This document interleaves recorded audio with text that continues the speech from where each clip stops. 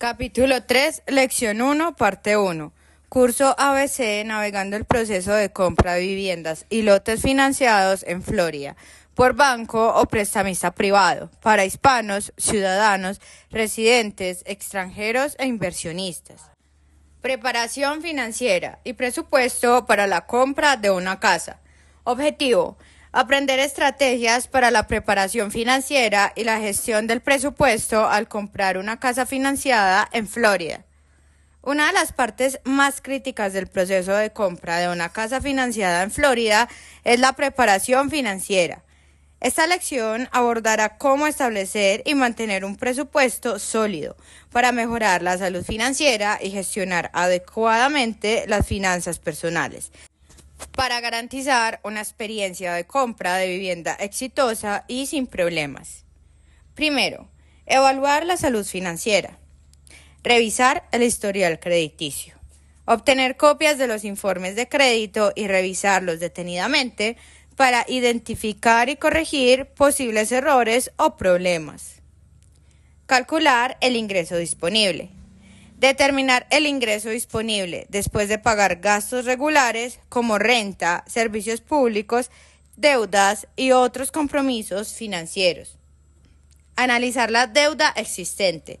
Evaluar las deudas existentes y calcular la relación entre la deuda y el ingreso para determinar la capacidad de endeudamiento. Llame a su realtor de confianza, Sergio Jaramillo, el mejor realtor de todo el Southwest de la Florida. Aquí están sus teléfonos. Más 1-239-645-6017 o más 1-239-440-4104. Segundo, establecer un presupuesto realista. Identificar ingresos y gastos. Registrar todos los ingresos y gastos mensuales para determinar un presupuesto realista. Considerar costos de vivienda Incluir los costos de la vivienda como la hipoteca, impuestos a la propiedad, seguros y mantenimiento. Al establecer el presupuesto. Planificar gastos adicionales.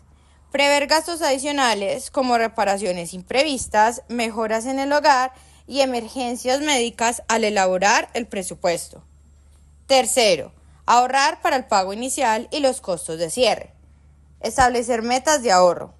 Fijar metas de ahorro realistas para el pago inicial y los costos de cierre, teniendo en cuenta el plazo previsto para la compra de la casa. Automatizar los ahorros. Configurar transferencias automáticas a una cuenta de ahorro específica para garantizar un proceso constante hacia las metas de ahorro.